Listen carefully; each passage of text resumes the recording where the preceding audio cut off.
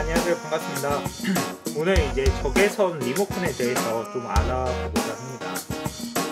어, 적외선 리모컨은 보통 이제 보면 이렇게 뭐 리모컨 뭐 보시겠지만 어떤 명령을 하기 위해서 내가 리모컨으로 우선 통신을 하는 거라고 보시면 될 것 같습니다. 어, 리모컨의 이제 그 전송 방식은 여기 보시면 보면 LED입니다 적외선 LED인데 빛을 쏴주게 되고 이 빛 자체가 이 수광구에 들어갑니다. 이 수광구에 들어가서 아 얘가 이 버튼을 눌렀구나 이 버튼을 눌렀구나 이렇게 생각을 하고 연산을 하게 됩니다. 어, 한번 눌러보죠. 눌러보면 데이터가 올라가는 걸 볼 수 있는데 제가 결론만 말씀드리면 이 버튼마다 눌렀을 때 이 LED에 데이, 그 빛으로서 신호를 쏴줍니다. 디지털 신호로서 이렇게 신호를 쏴주면 이 신호 자체가 여기 수광구에 들어가게 됩니다.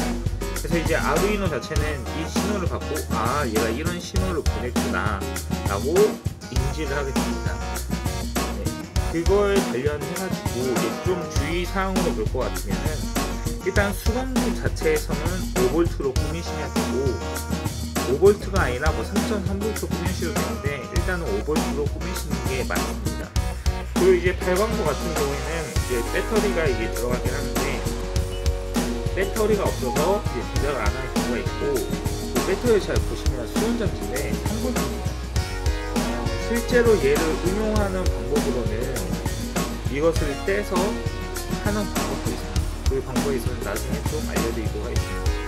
어, 그리고 이제 이 수광구 관련해가지고는 이 통신이 잘 되기 위해서는 정도 일직선을 보는 방향으로 이 수왕부 자체가 어느 지향점을 지향 방향각을 갖고 있고 이 수왕부 자체도 지, 어떤 지향 방향각을 갖고 있고 이 발광부도 어떤 지향 방향각을 갖고 있기 때문에 이게 서로 이제 좀 맞닿아야 좀 통신이 잘 된다는 것을 좀 유의하면 좋겠고 또 통신 길이가 그렇게 크지가 않습니다. 우리가 예를 들면은 TV를 킨다고 했을 때그 어, 소파에 앉거나 그렇게 어느 정도 일정 거리를 두고 생각하는 것처럼 그런 용도로 무선 통신이 필요할 때 쓰신다고 보시면 될 것 같습니다. 그리고 이제 리모콘 같은 경우에는 무선 통신에서 어떤 데 쓰이냐면 데이터가 어느 좀 한정된 곳에 좀 쓰이는 경우가 있습니다. 예를 들면 내가 어떤 신호를 제어하는 데 있어서 어, 이 신호만 보내면 돼 라고 했을 때 쓰면 되겠습니다. 물론 어, 연속적인 데이터도 보낼 수 있습니다. 근데 그런 경우에 어느 정도 좀 가공을 해야 한다는 것을 좀 유념하시면 좋겠습니다. 어, 소스 코드에 대해서 좀 설명을 드리겠습니다. 어,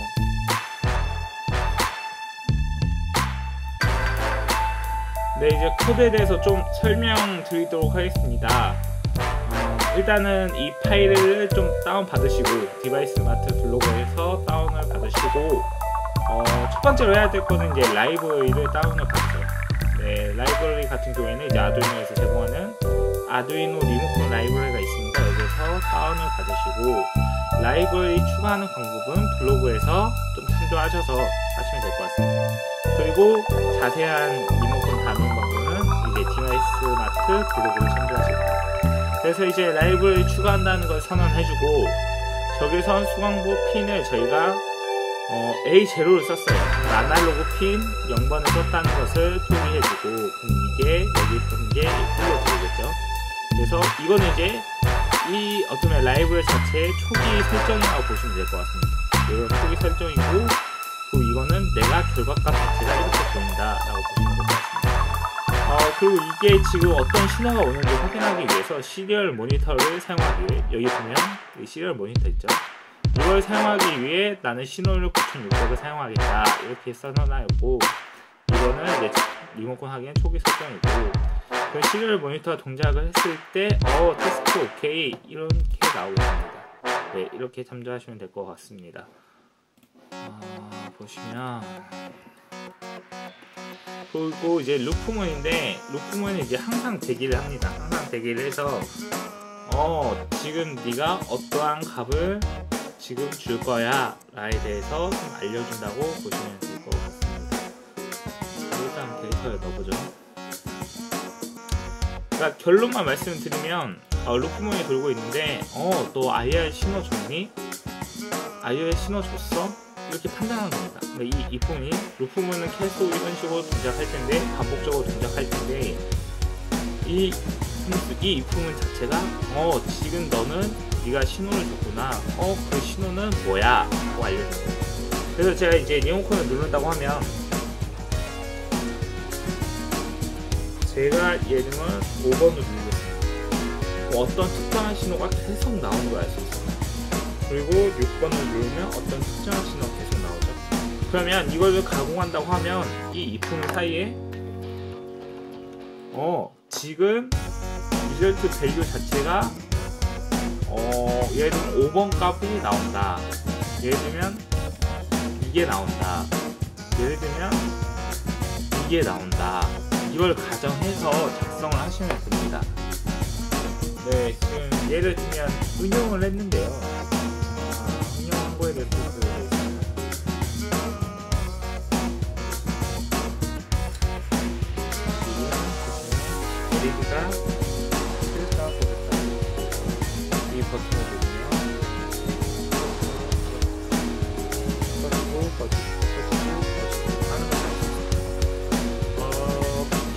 기존에서 이제 좀 달라진 거에 대해서 코드를 좀 설명드리면 어, 일단은 핀 8번에 대해서 내가 LED를 연결을 했고요. LED 연결했고 변수를 하는 거죠.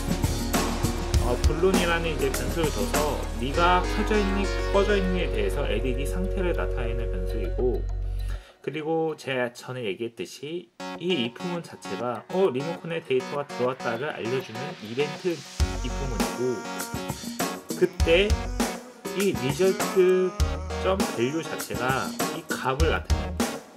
이쪽에 값을 나타내게 되고 이 값 자체가 어 맞아 일제 LED가 판단하는 겁니다. 어 일단 0x 자체가 무슨 의미냐면 헥스예요 헥스 16이라는 뜻이라고 보시면 될 것 같습니다. 예를 들면 우리가 한 글자에 10자리 이상은 표현을 못하잖아요. 그래서 A, B, C, D, E, F 이렇게 표시를 한다고 보시면 될 것 같습니 하여간 결론적으로 그좀 종합하시면 내가 버튼을 누를 때 각각의 신호가 있고 그 신호가 이거일 때 그 신호가 이거일 때 너는 LED를 키던가 꺼라 근데 내가 LED가 지금 켜져 있는지 꺼져 있는지 어떻게 아냐? 그거는 이 상태 함수로 알겠다. 네가 펄스 꺼져 있으면 키고 너는 true가 돼야 되라 상태가 켜진 거죠 만약에 네가 켜 있는 거가 아닐 꺼 있는 거가 아닐 경우가 켜 있으면 너는 꺼지고 그리고 너는 상태 함수도 꺼진다 이렇게 보시면 될 것 같습니다. 그리고 이거 자체는 이제 초기화 초기화예요. 그러니까 이게 끝났다는 거죠. 끝나서 다시 데이터 값을 지우고 다시 또 받는 이런 거라고 보시면